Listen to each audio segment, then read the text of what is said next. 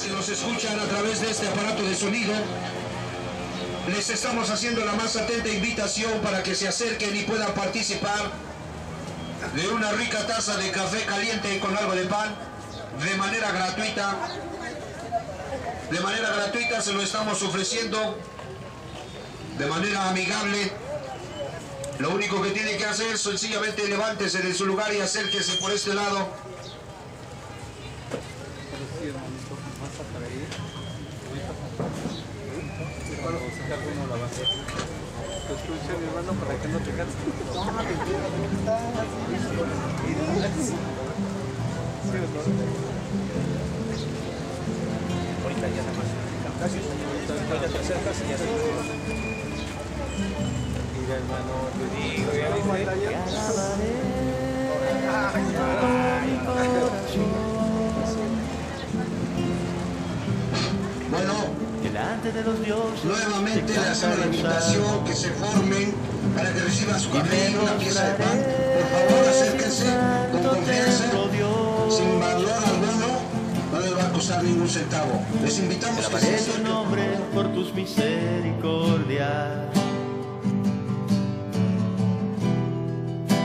Porque has engrandecido tu nombre y tu palabra sobre todas las cosas. El día que clamé me respondiste. Me fortaleciste con vigor en mi alma. Jehová cumplirá su en mí. Tu misericordia, oh Jehová, es para siempre.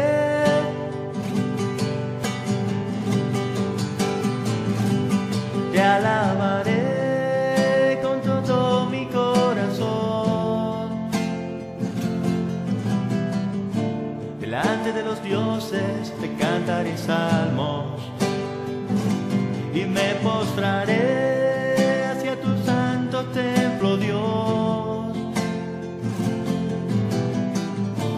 alabaré tu nombre por tus misericordias.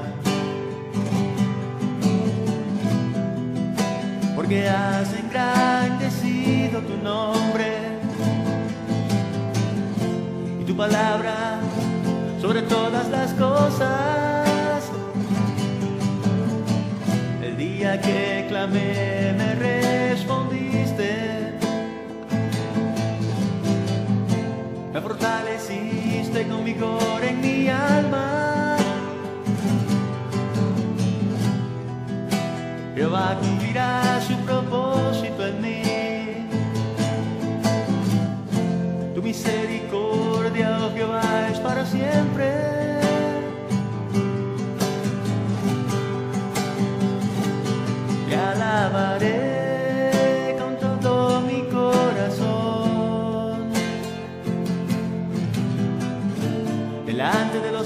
Me cantaré salmos y me postraré hacia tu santo templo, Dios.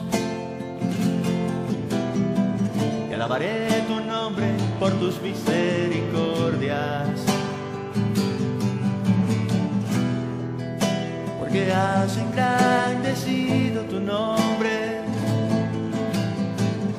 y tu palabra sobre todas las cosas. El día que clamé me respondiste, me fortaleciste con vigor en mi alma. Jehová cumplirá su propósito en mí. Tu misericordia, para siempre.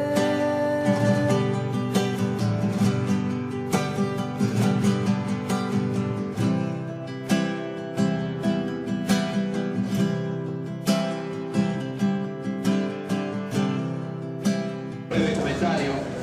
Digo, y lo digo en ese aspecto porque creo que en estos momentos y en este lugar es cuando nuestros espíritus, cuando nuestras almas, nuestros pensamientos están más sensibles a la necesidad que tenemos de la ayuda de Dios.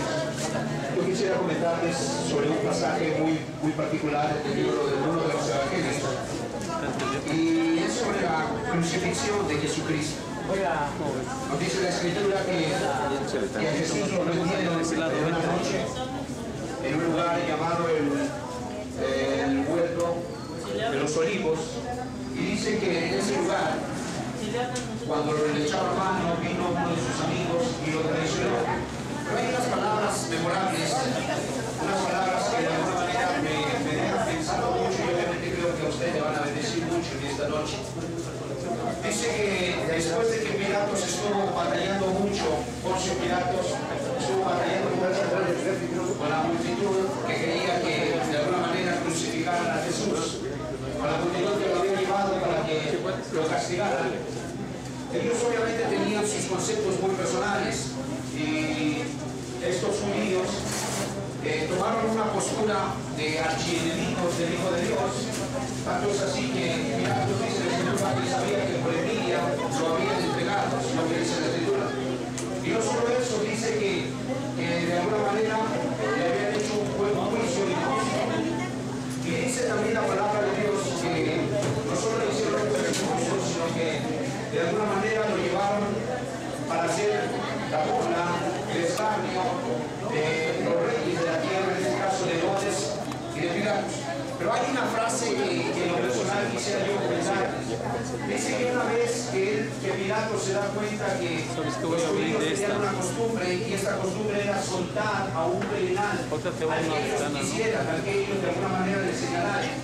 Un criminal que obviamente era digno de muerte y nos dice la Sagrada Escritura que cuando Pilato se da cuenta que no puede libertar, que darle liberación al Hijo de Dios, porque obviamente su esposa dice que había venido unos momentos antes cuando el juicio había ya iniciado y se acercó a él y le dijo no tengas nada que ver con este justo porque hoy he padecido mucho a causa de él en sueños. Por otro lado dice que él lo investigó y dice que no hay ninguna culpabilidad en él. Fíjense nada más. O sea, había varias evidencias. De acuerdo a la ley de los judíos no se podía acusar a una persona a menos que hubiera dos o tres testigos. Cuando llamaron testigos, los testigos se hallaron falsos, se hallaron espurios. ¿Por qué? Porque todo lo que ellos decían no llegaba, se contradecían unos a otros. En primer lugar, no había evidencia. En segundo lugar, él había predicado públicamente. Jesús le dijo, eres tú el rey de los judíos, lo dices por ti mismo o porque otros de alguna manera te lo han dicho. Los sacerdotes le dijeron que qué andaba predicando y él dijo, pregúntele a la gente, yo públicamente lo que he hablado lo he dicho públicamente. Entonces por ningún lado lo pudieron prender. Y Pilato se da cuenta que esta, esta, esta celada, este cuarto que le habían pres- eh, presentado al Señor que le habían puesto, dice que era movido por el vino. Pero esa frase es una frase que de alguna manera comprende a nosotros. Porque dice que Jesús, una vez que ya no hubo una puerta de justificación para que de alguna manera lo pudieran defender y condenar, dice que Pilatos estaba intentando liberar- liberarlo. Estaba peleando entre la espada y la pared, su conciencia lo acusaba. Las evidencias le daban testimonio que, Jesús no tenía nada que ver. Su esposa había venido a decirle, no tengas nada que ver con ese justo. Así como cuando usted ha tenido un sueño y siente un mensaje, siente una advertencia, siente usted que hay algo que tiene que tener cuidado, que se tiene que conducir con, con suma delicadeza. Y así señal tras señal, evento tras evento, advertencia tras advertencia, Pilatos había llegado a un punto donde tenía que tomar una decisión. Por otro lado, Pilatos tenía temor a que lo fueran a destituir de su cargo político. Él sabía una cosa porque los judíos le habían dicho, si sueltas a este hombre, no eres amigo del César, eso es lo que le habían dicho a él. Y dice la escritura que llegó un punto en que él dijo, eh, es el día de la Pascua, les daba a entender, ¿a quién quiere que lo suelte? Entonces ellos escogieron a un preso llamado Barrabás. La escritura dice que ese preso estaba allí por homicidio, era un asesino, era un revoltoso, era un hombre digno de muerte porque sus hechos de alguna manera lo condenaban. Y entonces Pilatos al verse presionado, al verse entre la espada y la pared, al ver que ya no había modo de poder detener la turba de asesinos, les digo las siguientes palabras. ¿Qué pues haré? de Jesús llamado el Cristo. Eso fue lo que dijo. ¿Qué pues haré de Jesús llamado el Cristo? Y los judíos le dijeron, crucifícalo, crucifícalo, y que su sangre sea sobre de nosotros. En otras palabras, mátalo. Y si alguien tiene que responder, si alguien tiene de alguna manera echarle la culpa, aviéntala, aviéntanos la culpa a nosotros. Pero dijo, dijeron ellos, su sangre sea sobre de nosotros y sobre de nuestros hijos. Y yo quiero decir una cosa, cuando usted investiga la, la historia de los judíos, de hecho aquí en los hispanos tenemos un adagio, un dicho muy popular, cuando alguna persona no tiene un lugar estable o se cambia de un lugar a otro o se anda moviendo de un lugar a otro, la gente dice, pareces judío errante. Esa es la expresión muy popular. ¿Qué quiere decir? Pareces una persona que no tiene dónde llegar, no tiene de dónde asentar su pie. Y déjeme decirle que literalmente la historia de los judíos es así. Ellos hasta 1948 tuvieron una, un país, un país pequeño, un país donde ellos pudieron reclamar y decir, este es nuestro país. Pero antes de eso, ellos tuvieron varias deportaciones. Yo quiero que preste atención a esto. No le vengo yo a predicar las ideas de- de- de- del grupo a donde yo pertenezco. Yo no le vengo a incitar a que cambie de, de religión y que se salga de una y se meta a otra, no. Yo no vengo a levantar una y aplastar a otra tampoco. Yo no vengo a sentarme como juez para juzgarlo a usted. Lo único que le estoy diciendo es que mi responsabilidad, como la de usted, es amarnos unos a otros. Somos gente que Dios hizo. Somos gente que Dios creó. Dice que nosotros tenemos rasgos de Dios. Hay rasgos de Dios. De las, de, los- de las criaturas creadas, nosotros somos los únicos que tenemos raciocinio. Los animales no tienen raciocinio. El, el reino vegetal no tiene raciocinio. Pero en cuestión a la raza humana, somos la única raza que se mueve por razón, por una libre voluntad. Cada uno de nosotros decide qué hacer. Ahorita que les hacíamos la invitación y les decíamos con limpio corazón, si alguno desea una taza de café y una pieza de pan, Estamos para servirles. Permítanos hacer nuestro trabajo de manera gratuita. No traemos doble intención. El objetivo no es présteme su credencial porque le voy a poner un voto a mi partido. El objetivo no es, a ver, le voy a, le voy a echar la mano aquí porque después le voy a sacar un beneficio. No, no, no, no, de, ninguna manera. Creemos que nuestra obligación como chimalhuaquenses, creemos que nuestra obligación, ellos toman una, una, una, una expresión que llaman solidaridad. Obviamente estos villanos no la creen, porque si la creyeran no nos estuvieran chupando la sangre. Mas sin embargo, creo que es motivo, es un buena- una buena oportunidad para realmente tratarnos con sol- solidaridad, para ser solidaritarios. En ese aspecto, hoy le tocó a usted estar aquí, mañana quizá me toque a mí. Y si yo estuviera en su papel, a mí me gustaría que si ya no tengo dinero para las medicinas, que si ya no tengo dinero porque vengo de lejos, que si ya no tengo dinero porque el sueldo es mísero y no me alcanza, y si tengo mucha hambre o mis hijos tienen hambre o mi esposa o mi familiar que está aquí varios días quedándose tiene hambre, a mí me gustaría que algún día de su corazón de usted saliera esa actitud de decir, mire, aquí hay una torta, aquí hay un vaso de café, bendígase, ánimo, fe, Dios vive, Dios está real, Dios no ha abandonado la tierra, tenga confianza, pídale perdón, encomiéndese a Él. Si los demás no actúan, al menos yo sí estoy aquí para mostrarle a usted que estamos de alguna manera siendo solidarios y queremos llevar la carga. Quizás no tenemos la fuerza económica, pero aquí está la fuerza de voluntad y queremos participar con ustedes. Y ese es el propósito por el cual nos movemos. Póngase a pensar si cada uno de nosotros tuviera esa mentalidad. Yo digo una cosa, se acabarían los huérfanos en medio de nosotros. Se acabarían los ancianos que tiran a la calle. Se acabarían las madres solteras, las madres que tienen que hacer la de papá y de mamá. Creo que si todos nos uniéramos, todos tomáramos esta actitud, se acabarían esos problemas sociales que tenemos, esos problemas morales que de alguna manera están desquebrajando nuestra sociedad. Yo quiero decirle algo, los judíos dijeron, crucifícalo y que su sangre sea sobre nosotros y sobre nuestros hijos. Ellos tuvieron una deportación por parte de lo que ahorita es eh, lo que es Babilonia, en aquel tiempo donde está el Tigris y el Éufrates, ahí en Medio Oriente, es Irak, el país de Saddam Hussein. Dice que fueron transportados los judíos al país de Irak, en aquel tiempo Babilonia. Posteriormente hubo otra deportación, fueron transportados a lo que es Asiria ahorita, el país del noroeste, donde está el, país de, de los judíos, Israel. Después Hubo una brutal persecución contra ellos, 1943, recuerde usted la Segunda Guerra Mundial. Hitler mató miles y miles. La gente asume que fueron 5 millones, 6 millones, eso no es cierto. Es una cantidad que nadie puede contabilizar. Eran muchos, eran judíos polacos, eran judíos holandeses, eran judíos rusos, eran judíos franceses, eran judíos de todos lados, los cuales fueron llevados y masacrados. Muchos de sus niños, muchas de sus esposas, muchos de sus ancianos fueron masacrados. Pero yo quiero que entienda una cosa. Estas deportaciones, en el caso de la de 1940 y tantos, y aún hoy, están matando judíos en algunos países, están persiguiendo, hay una persecución, hay un espíritu antisemita, le llaman, un espíritu de odio contra ese pueblo. Pero yo no voy a decir por qué. Porque ellos, aquella ocasión, que Pilatos les preguntó, no hay maldad alguna en este judío llamado Jesús.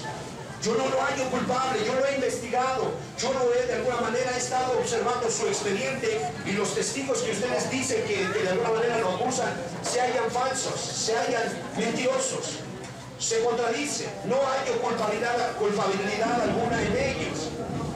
Presten atención. Cuando no había razón para crucificar al Hijo de Dios, entonces Pilatos hace una expresión y él dice, declara una expresión y él dice, bueno, ¿qué pues haré de Jesús llamado el Cristo? Y ellos dicen lo siguiente, crucifícalo y que su sangre sea sobre de nosotros y sobre de nuestros hijos. Hasta la fecha, déjenme decir una cosa, el pueblo judío ha sufrido terribles acosos, persecuciones masivas, desprecio. Ahorita está a punto de desarrollarse una guerra en lo que es Irán y los judíos. Sí, el presidente de, de- de alguna manera del país de Irán, presidente persa, ha declarado que el, pueblo judío tiene que desaparecer.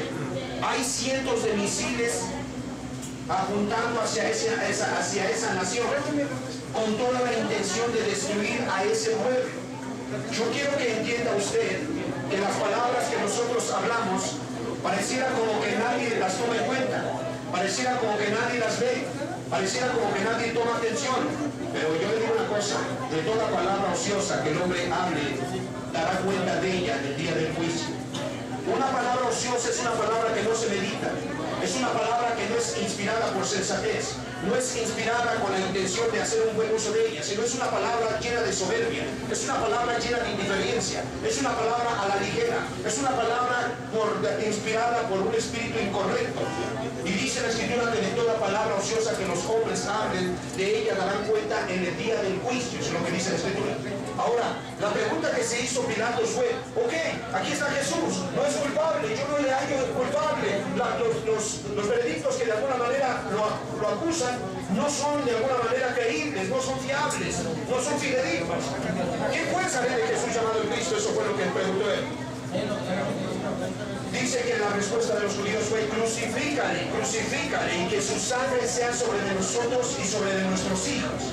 Ok, déjame decirle, después, no mucho tiempo después que Pilatos lo entregó a la mano de los asesinos, ¿sabe qué fue lo que sucedió?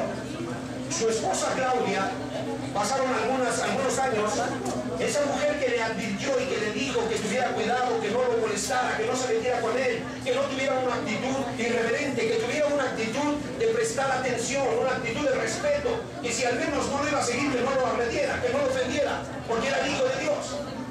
Esa mujer, por la actitud que tuvo más adelante, se convirtió. Pero Pilatos fue destituido de su cargo y fue enviado a una isla, de alguna manera, donde dice la, la- historia que murió loco. Era un hombre que tenía un problema de conciencia, porque iba y se lavaba las manos, porque él imaginaba que tenía sangre en las manos. No tenía sangre en las manos, tenía sangre en la conciencia, porque en su mano estaba el poder. ¿Por qué le dijo a Jesús? No me contestas a mí, que no sabes que tengo poder para soltarte o para entregarte. Y hermanos y amigos que están aquí, cada uno de ustedes tiene poder en su voluntad. Cada uno de los que está aquí tiene el poder de decir, yo quiero seguir lo que dice mi Dios. Yo quiero hacer caso de lo que mi Creador manda. Yo quiero hacer los cambios pertinentes antes que Dios me mande a traer y me juzgue. Cada uno de ustedes está en ese poder. Pilatos decidió y dijo, he aquí, limpio soy de su, de su, de su sangre. Dice por ahí el otro adagio popular, Tanto peca el que mata la vaca como el que como el que le agarra la pata. Bueno, si ustedes no hubieran escuchado nunca de Jesús, no se preocupen, nunca hubieran sido culpables. Pero ustedes y yo celebramos un 24 de diciembre donde se supone que nació Jesús. Ustedes y yo esperamos con mucha ansia las vacaciones de Semana Santa donde se supone que lo crucificaron. Ustedes y yo tenemos conocidos y algunos de ustedes inclusive han decidido ponerle a sus hijos el nombre de Jesús. Entonces yo quiero pensar que ustedes saben quién es Jesús. Yo quiero pensar que ustedes saben realmente a qué vino Jesús. Yo quiero pensar que ustedes no están ajenos cuál es el propósito por el cual Jesús vino a esta tierra. La pregunta pertinente en esta noche sería, ¿qué pues harás tú de Jesús llamado el Cristo? Esta palabra Cristo es el ungido. Cristo es el señalado. Cristo significa el escogido. Cristo significa el único al cual la máxima autoridad, el Padre Eterno, lo escogió, lo señaló, a él apuntó. Por si alguno quiere tener perdón de pecados, Jesús es el único que puede perdonar. Por si alguno quiere de alguna manera tener la oportunidad de ir al cielo, Jesús es el que está señalado para llevarnos al cielo. Si alguno quiere que su conciencia sea limpia, solo la sangre de Jesús limpia las conciencias. Si alguno quiere olvidar sus antiguas maldades, sus antiguos agravios, solo Jesús tiene el poder de perdonar pecados. Tanto es así que el día que lo crucificaron, dice que había dos ladrones, uno a su izquierda y otro a su derecha. Y dice que uno de ellos le dijo, maestro, vino a él y le dijo, acuérdate de mí cuando estés en tu reino, en tu gloria. Y mire nada más al Cordero de Dios. Dice que lo vio con una mirada de amor. Raquel Andrea. Raquel Andrea, Andrea por favor y lo vio y dice que le dijo lo siguiente, de cierto te digo que hoy estarás conmigo en el paraíso. Eso fue lo que le dijo. Yo quiero que entienda usted que el cielo no se compra, ni con velas, ni con mangas, ni de rodillas, ni bailando, ni rezando, ni curando, ni perjurando, ni portándose bien. El cielo está ganado. Jesús lo ganó el día que lo crucificaron. El hombre no tiene que hacer nada. El hombre lo único que tiene que hacer es aceptar el regalo de Dios. Cuando usted cumple años y, de alguna manera su familia le hace una comida, su platillo favorito, su familia adecuada a la casa, invita a los seres más cercanos, los más queridos. Yo veo que una reacción de nuestros seres queridos cuando son invitados a una fiesta y saben que hay un cumpleañero, la gente llega con regalos, ¿cierto o no? Nadie los invitó con el fin que trajeran regalos. El cumpleañero, el festejado, los invitó porque quiere celebrar un día más de vida.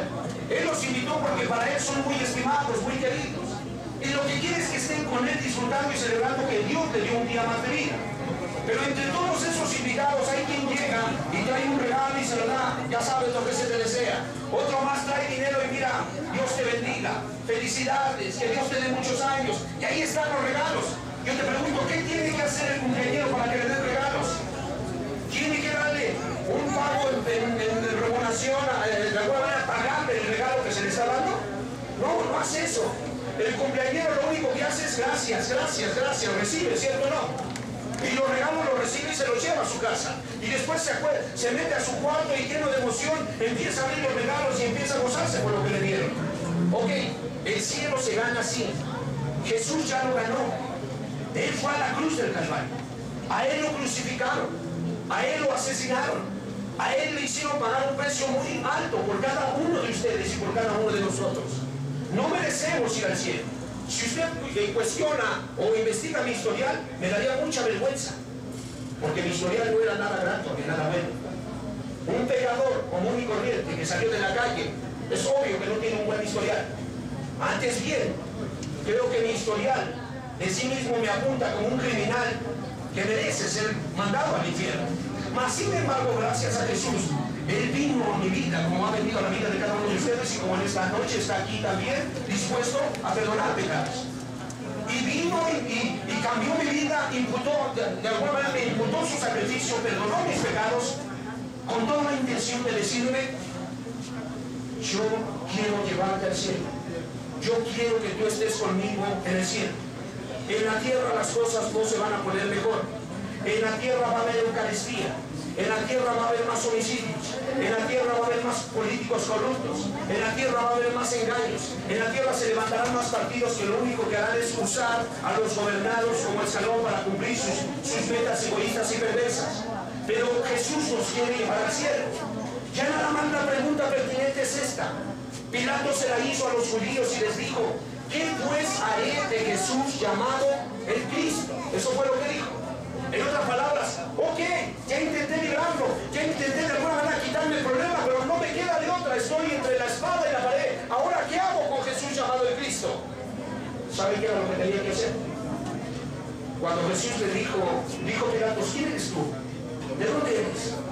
¿Eres tú rey de los judíos? Empezó a indagar. Jesús le empezó a explicar quién era él. Dice, yo nací para eso. El reino no es de este mundo. ¿Eres tú rey de los judíos? ¿Lo dices por ti mismo o porque otros has escuchado a otros decir? ¿Qué tenía que hacer? ¿Qué eres tú? Yo soy, yo vine para dar testimonio de la verdad. ¿Cuál es la verdad? Le dijo Pilatos, le preguntó. La verdad, quiero decirles una cosa. La verdad es esta. La verdad es la realidad de las cosas en contraste con la apariencia. La verdad es la realidad de las cosas. El hombre ha pecado, el hombre ha hecho lo malo. Cada uno de ustedes, si tuviéramos la oportunidad hoy de tomar sus pensamientos, de tomar su corazón, y esto es el corazón, tomar sus pensamientos y aquí a través de un retroproyector en esta pared, ahorita que está usted en esta sala, proyectar sus pensamientos aquí, las ideas de su corazón. Yo le digo una cosa, saldría huyendo de aquí, porque hay muchas cosas ocultas, hay muchas cosas escondidas que usted ha hecho y usted ha pensado. Ni su mismo cónyuge la sabe, ni su mismo padre, ni su misma hermana sabe de las cosas que usted ha hecho y que ha pensado en. En aquel día, la Biblia dice que los, los secretos de los hombres van a salir a la luz. El juez se va a sentar en la silla, en el trono, y todos estaremos de frente ante él. Y el juez va a empezar a ejecutar a cada uno, a de alguna manera arreglar ese asunto. A ver, te voy a evaluar y te voy a dar un pago. La Biblia dice que es necesario que todos compadezcamos ante el tribunal de Cristo en ese día, para recibir lo que hayamos hecho en el cuerpo, sea bueno o sea malo. Déjeme decirle que en ese día no le van a preguntar a usted ni a mí si estaba yo de acuerdo o no, si me gustaba o no, de qué religión era, de qué extracto social era, cuál era mi IQ. No me van a preguntar eso. Sencillamente me preguntarán, ok, ¿qué hiciste de Jesús llamado el Cristo? ¿Qué hiciste con Jesús? Aurora Lira Hernández. Aurora Lina Hernández, por favor.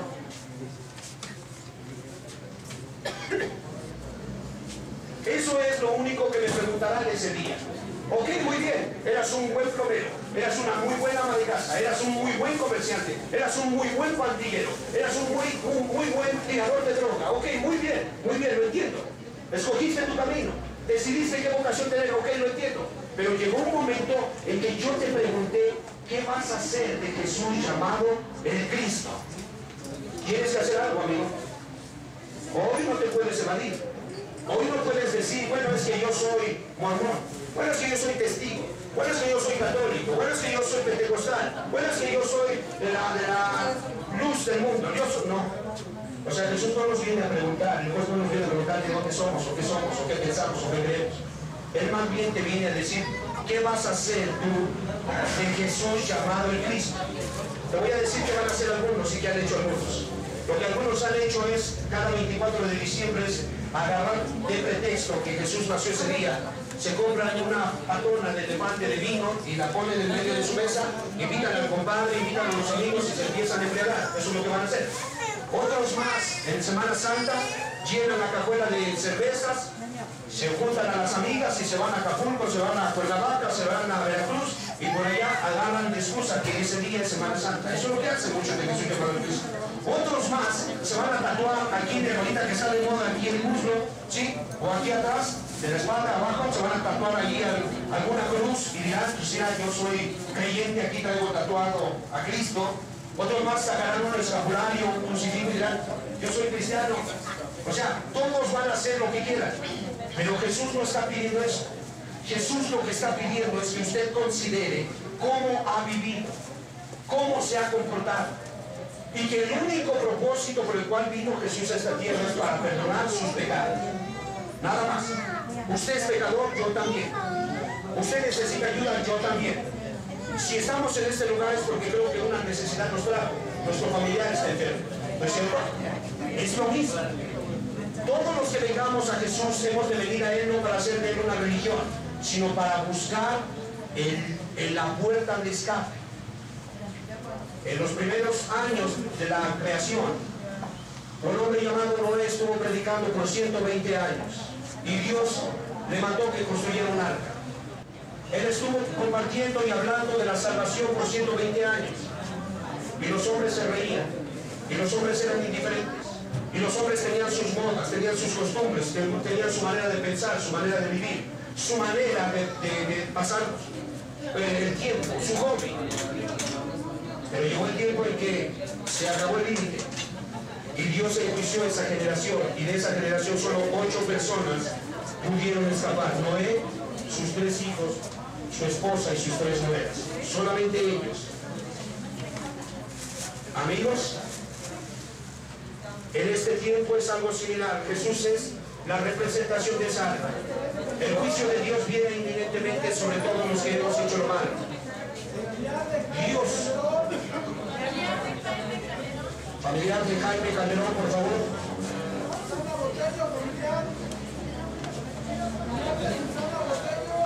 Familiar de Susana Montello, por favor. Por tanto, quiero terminar con esto. La pregunta de Pilatos fue, ¿qué pues haré de Jesús llamado el Cristo? Quien es sabio y entendido lo que hace de Jesús llamado el Cristo es recibir su invitación aceptar la declaración de que todos hemos hecho lo malo, ser sensato y reconocer que no hay medio para poder escapar del juicio que viene. Los hijos de Adán hemos pecado y hemos hecho lo malo. Y desde que nos levantamos hasta que nos acostamos, nuestra tendencia es hacer lo malo. Pero para eso envió Dios a su Hijo, para morir por cada uno de nosotros en la cruz del Calvario. Por tanto, la manera más pertinente de poder contestar a Dios esa pregunta, ¿qué pues haré de Jesús llamado el Cristo? De aquí en adelante le voy a valorar. Hablo por mí. De aquí en adelante voy a valorar ese sacrificio inmerecido que él hizo por mí. De aquí en adelante entenderé que yo soy mexicano y él era judío. No tenía nada que venir a hacer aquí, a este continente. De aquí en adelante entenderé que yo no tengo ninguna esperanza de poder llegar al cielo, mas sin embargo Él se ofrece como un sacrificio para que toda la ira de Dios sea descargada en Él y para que yo tenga la oportunidad, el día que yo me vaya, cuando Él me vaya a juzgar, Él se pondrá delante de mí, el juez me verá, pero no me verá a mí, verá a Jesús. Y sencillamente Él me dirá, he dado mi vida por este hombre, puede entrar, está lim- lim- limpio de pecado. No porque yo sea muy bueno, no porque yo sea perfecto, no porque yo me lo merezca, no porque yo tenga más dotes o dones que usted, no, por cierto creo que soy de los peores.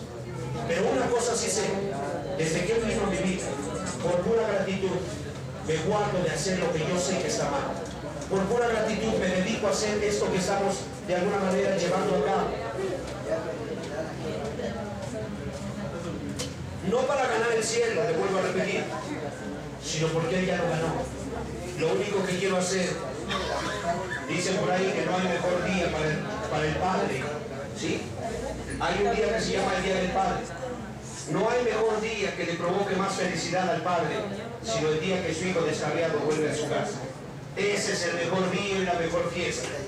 Si usted tiene alguna hija, algún hijo descarriado, usted me entiende. Usted comprende perfectamente lo que le estoy diciendo. No hay mejor día que el día que el hijo descarriado vuelve a casa. Cuando uno de nosotros le dice sí al Señor, reconoce sus pecados y se regresa a casa a vivir para amar y para servirlo, esa persona tiene vida eterna por haber creído en Jesús. Esa persona tiene la oportunidad de ser inscrito y llamado Hijo de Dios y ser inscrito en el libro de la vida. Todos vamos a morir. Todos nos vamos. Por tanto, en esta noche, ¿qué va a hacer usted de Jesús llamado en Cristo? Este mensaje, estas palabras, usted las puede aventar a sus espaldas y decir otro día, al final, en otro tiempo, con más calma. Yo tengo mis propias ideas. Yo sé lo que hago. Yo soy mayor de edad. Nadie me debe de decir lo que yo como debo de vivir. Yo respeto su decisión. Yo no soy nadie para juzgarlo ni tampoco vengo a forzar a nadie. Pero creo que mi, mi obligación moral con ustedes es decirle que sí existe uno que cambia las vidas y perdona pecados. Que sí existe uno que limpia las conciencias y que le da seguridad al hombre de que cuando muera puede ir a descansar al cielo. Eso es lo que le puedo decir. Quiero terminar con esto. Yo no le vine a hablar de una religión. Yo no lo vine a invitar a usted que cambie de religión. Yo solo le vine a decir que hubo un día, hace dos mil y fracción de años, que un hombre llamado Jesús fue tomado de una manera injusta y fue asesinado, fue golpeado, fue humillado, brutalmente le arrancaron las barbas, lo clavaron en una cruz, le enterraron una lanza, se burlaron de él, lo hicieron como quisieron. Y él estando en la cruz dijo las siguientes palabras memorables. Padre, perdónalos porque no saben lo que hacen. Mire nada más lo que dijo, perdónalos. Cuando yo bendito las veces que robaba, las veces que adulteraba, las veces que me embriagaba, las veces que le robaba a mi madre, las veces que le faltaba respeto, yo digo, ¿no sabía? Sí sabía, sí sabía lo que hacía. Tanto es así que me escondía para hacerlo. Tanto es así que tomaba ventaja, alevosía, sí sabía. Mas sin embargo, como Él es bueno, intercedió por nosotros diciendo, no saben, no saben lo que hacen. En otras palabras, no han comprendido su error. En otras palabras, están embotados de maldad, no alcanzan a entender la gravedad, no saben que existe un infierno y que existe un cielo, no saben que la eternidad los está absorbiendo. Por favor, ten paciencia con ellos, por favor, envíales a alguien que les diga, por favor, concédeles un milagro, por favor, si su familiar de alguna manera tiene un problema en tal día, concédeles ver un milagro. Y yo les digo una cosa, y Jesús puede hacer milagros en esta noche. Si milagro necesita la persona, Jesús puede hacer milagros. Con el único y simple propósito, que usted le crea que Él no es su enemigo, que Él no tiene nada contra usted, que Él nunca ha buscado su mal de usted, sino que antes bien, yo he escuchado a muchos decir, ¿ya te vas? Y le dice la esposa al esposo y él dice, sí, primeramente Dios al rato regreso. ¿Ya llegaste, mi amor? Sí, gracias a Dios. Cuando despiden a sus hijos, que Dios te bendiga y le dan la bendición. Y yo le pregunto a usted, ¿no ha sido así? ¿No ha regresado usted con bienes? ¿No ha ido y trabajado y traído sustento para, para de alguna manera a sus hijos? ¿No es cierto que cuando la venta, la mayoría somos comerciantes y cuando la venta está floja, decimos en nuestro corazón, ahorita primeramente Dios vamos a vender y no es cierto que vendemos? Ustedes saben, yo no, estoy, yo no vengo a contarles historietas, yo vengo a apelar y a recordarles lo que ustedes viven cada día. No les vengo a hablar de mi Dios, les vengo a hablar de su Dios, del que ustedes de alguna manera invocan y Él les ha contestado, les ha guardado, les ha ayudado, los ha bendecido. De ese les vengo a hablar. Por tanto, creo que sería muy bueno que hiciéramos algo, algo pertinente, algo sabio con él. Si Pilatos preguntó qué haré de Jesús llamado el Cristo en lo personal, yo voy a valorar lo que dice y le voy a corresponder en amor. Y si él quiere ser mi amigo, quiero ser su amigo. Y si él me dice que quiere perdonarme, yo le voy a creer. No voy a tener malicia, yo le voy a creer. Y si él me dice que deje de hacer lo malo, voy a dejar de hacer lo malo. Si lo puedo agradar a él, quiero agradarlo de aquí hasta que tenga el último hálito de vida. Una cosa sabré, si Él está conmigo en la eternidad, estaré en sus brazos para siempre. Amén. Gloria a Dios. Quisiera yo hacer una oración, si usted tiene fe, cierre sus ojos, vamos a orar. He visto a Jesús obrar milagros. No me atrevería a pararme aquí si fuera un farsante Jesús. No me atrevería de alguna manera a pararme aquí si fuera una historieta o una fantasía. Mas sin embargo puedo decirle con la evidencia en la mano, Jesús sigue haciendo milagros. Jesús puede hacer milagros. Nada más la única, la única El único requisito es que usted le crea, que usted realmente afirme en su corazón que Él es Dios y que puede hacer milagros. Y obviamente, una de las estrofas del Padre Nuestro es perdona nuestras ofensas, como también nosotros perdonamos a los que nos ofenden. Cuando hemos hecho esa, esa oración, nosotros aceptamos que hemos ofendido. Yo le pido de favor que le pida perdón en esta noche a Jesús porque usted me ha ofendido. Y después de pedirle perdón, que le pida misericordia para usted y para su familia. Y Él es muy bueno. Jesús dijo de su Padre, cuando ustedes joden van a orar así. Padre nuestro. No dijo vecino. No dijo eh, de alguna manera este, líder insensible. No dijo eso. Dijo ora con toda confianza, como que es tu Padre. Padre nuestro. Amén. Sobre con los ojos. Padre, tu palabra hemos hablado en esta noche. No son nuestras palabras ni nuestros intereses, son los tuyos. Puedes darles testimonio a estas personas que tú existes. Pudieras tú, Señor, en tu grande corazón misericordioso, concederles el milagro. El milagro más grande y hermoso. Que sus pecados sean perdonados. Que sus vidas sean cambiadas. Que sus nombres sean escritos en el libro de la vida. Que sus conciencias sean limpias. Que ya no más haya quien los acuse. Que el historial de maldad del pasado pueda quedar en el pasado. Que de aquí en adelante sus vidas sean vidas que te glorifiquen. Vidas que, de alguna manera provoquen una satisfacción, que provoquen alegría en tu corazón. En el nombre de Jesús, escucha su oración. Y sabiendo que hay tanto amor en ti, sabiendo que hay comprensión a causa de nuestras debilidades, queremos pedirte por aquellos que no creen, que en esta noche, a pesar de la prescripción médica, que ellos puedan ver todo lo contrario. En el nombre precioso de Jesús, te damos gracias por el don recibido. En el nombre de Jesús, gracias Señor. Amén. Gracias. Que pasen muy buena noche. Si alguno desea un poco más de café y una pieza de pan, estamos por Pon a servir. tu boca trompeta, es necesario la santidad. Pon a tu boca trompeta, es necesario la santidad.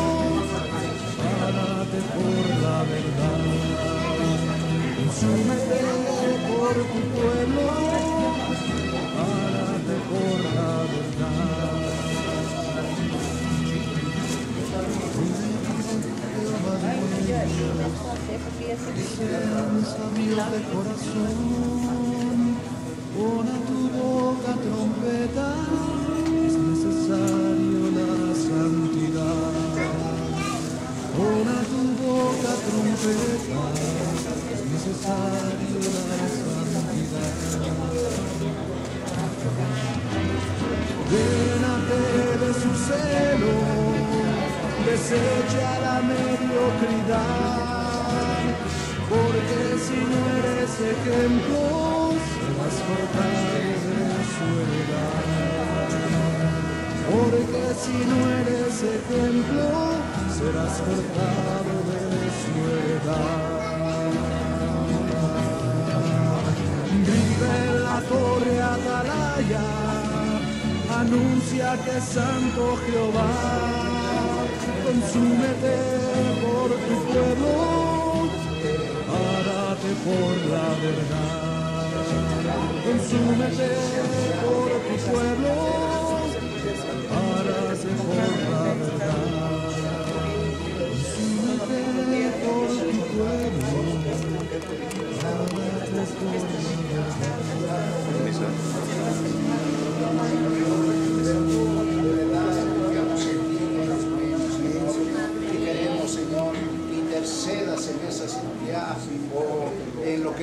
necesite, digamos, tú lo sabes, Señor, qué, qué es de lo que te qué es lo que necesita, Padre mío. Por esa razón te rogamos y te suplicamos, Padre mío, que metas la mano, Señor, ten una misericordia, una ayuda, una sanidad para él. Sea falta, Padre mío, que tú veas todas estas necesidades, otros grandes problemas, Padre mío. Queremos, Señor, que en este momento te hagas presente y que seas Amén. De verdad, Señor, solamente sabes qué es lo que tiene mal. y Tú sabes perfectamente que hace falta. Amén. Te pedimos, Señor, que en este momento, en el nombre de Cristo Jesús, Padre mío, que sea el médico Jesucristo que va a tener este, esta, esta necesidad, este problema, este accidente, Señor. Tú sabes perfectamente bien que tienes, Señor, todos los estados agotados que lo curan sobre ti. Amén. El médico de médicos, Señor. Por esa razón estamos pidiendo ayuda, esta misericordia, Señor. Que brilles en esta cirugía, esa luz que hace falta, que haga falta Exactamente para que todo eso se lleve a cabo lo que necesite, Señor. Te pedimos, Padre en el nombre de Cristo Jesús.